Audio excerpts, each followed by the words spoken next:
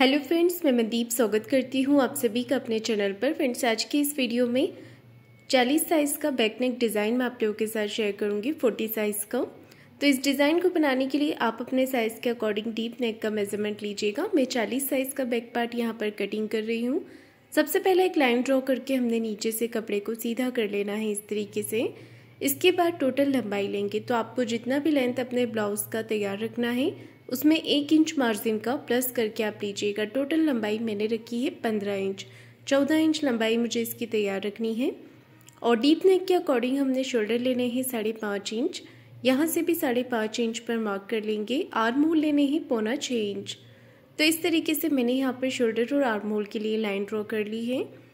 Chest का चौथा भाग यहाँ पर लेंगे। चेस्ट का चौथा भाग होगा दस इंच। और डेढ़ इंच एक्स्ट्रा रखा है मैंने मार्जिन के लिए। मार्जिन आप चाहें तो दो इंच भी ले सकते हैं। आधा इंच बाहर की तरफ़ लेते हुए हमने मार्किंग करनी है। बाहर वाली लाइन से ही आर्म होल की गुलाई करनी है। इसके बाद हमने यहाँ पर आर्म होल का शेप दे देना है।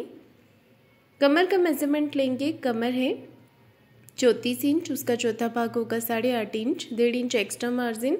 और एक इंच एक्स्ट्रा और लिया है कमर की प्लेट्स के लिए। मार्किंग मैंने पूरा कर लिया है, इसके बाद हमने करना है इसका कटिंग तो इस तरीके से हम इसे कट करेंगे।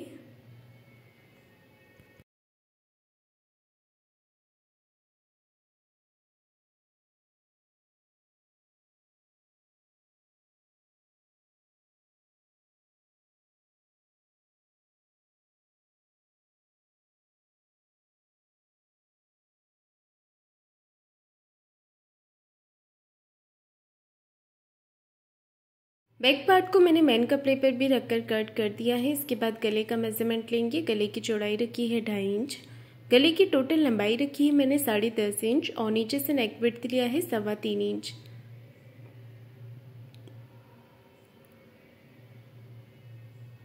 गले की लंबाई और चौड़ाई आप अपने अकॉर्डिंग कम ज़्यादा करके ले सकते हैं। इसके बाद हमने सिंपल राउंड शेप यहाँ पर देना है। इस तरीके से। तो यहाँ पर आप मटका गला भी ड्रॉ कर सकते हैं, आप अपनी पसंद से पान गला भी बना सकते हैं या फिर पंचकोनी नेक भी ले सकते हैं। मैंने यहाँ पर रखा है सिंपल राउंड नेक और इसे कटिंग कर दिया है। गले को कट करने के बाद अब पेपर पेस्टिंग लेंगे। पेपर पेस्टिंग को डबल फोल्ड करते हुए नीचे की तरफ़ रख लेना है और एज इट इज़ गले की मार्किंग करनी है। बाहर की तरफ़ से आप अपनी पसंद से जितना भी आपका बॉर्डर ब्रॉड होता है, उसके अकॉर्डिंग मार्किंग कीजिएगा।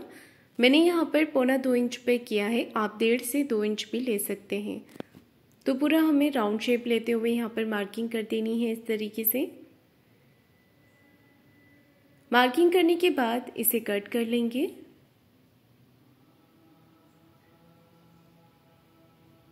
इस तरीके से कटिंग करने के बाद अब हमने करना है इसकी स्टिचिंग तो मेन कपड़े को और अस्तर के कपड़े को साथ में अटैच करेंगे और यहाँ पर अच्छे से पिन के साथ इसे अटैच कर देना है सिलाई लगाने से पहले।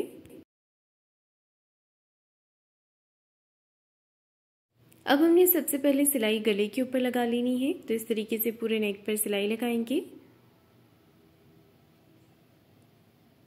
अब बाहर की तरफ़ से एक सिलाई लगाएँगे, हाथ से फिनिशिंग करते जाएँगे और सिलाई लगाते जाएँगे।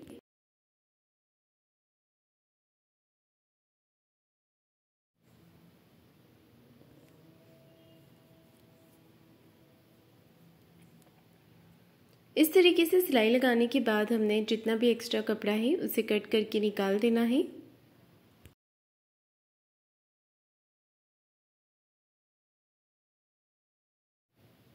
ये देखिए, इस तरीके से हमने एक्स्ट्रा फैब्रिक को कट करके निकाल देना है।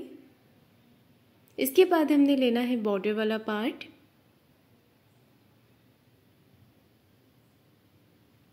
बॉर्डर को हमने बराबर से रखकर यहाँ पर कटिंग कर लेना है। अब इन दोनों पार्ट को हमने जोड़ लेना है। बीच में एक सेंटर में सिलाई लगा देंगे।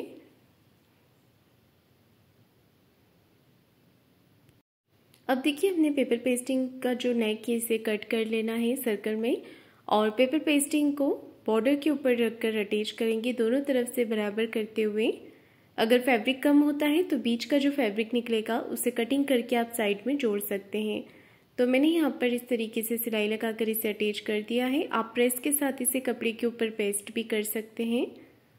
दोनों तरफ़ से अच्छे से सिलाई हमने लगा देनी है और साइड से जो एक्स्ट्रा कपड़ा है, इसे कट करके निकाल देना है। अगर आपका ब्रॉड बॉर्डर ब्रॉड होता है तो साइड में आप थोड़ा कपड़ा रखकर एक तरफ़ से इसे फोल्ड कर लीजिएगा।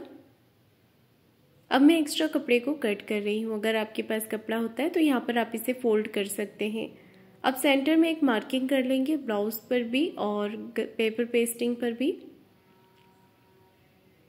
पेपर पेस्टिंग पे भी डबल फोल्ड करते हुए हमने एक मार्किंग यहाँ पर कर देनी है। अस्तर की तरफ़ से इसे अटैच करेंगे क्योंकि पलट के सीधी तरफ़ आएगा तो अस्तर वाली तरफ़ इसे रखना है। सेंटर मार्किंग से सेंटर मार्किंग मिलाते हुए और इस तरीके से यहाँ पर सिलाई लगा देनी है।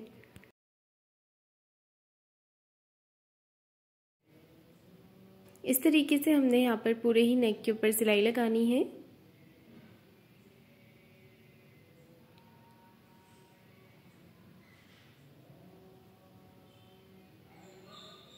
पूरे ही नेक पर छोटे छोटे कट लगा देंगे। कट लगाने के बाद हमने एक सिलाई इस तरफ़ करते हुए लगा देनी है।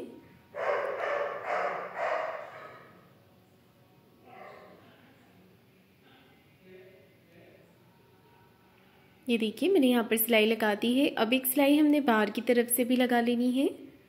अच्छे से बॉर्डर को बराबर करते हुए।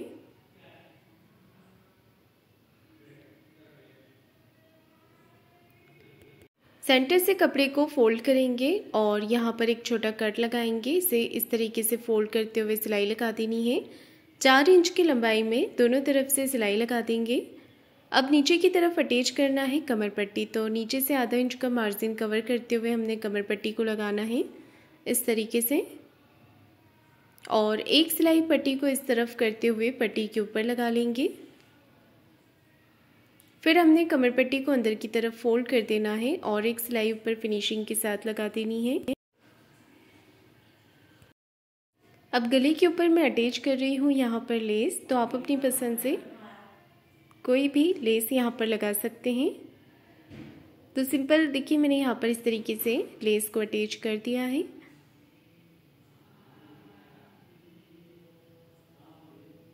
डोरी के साथ लटकन को यहाँ पर देखिए, हमने इस तरीके से अटैच कर लेना है।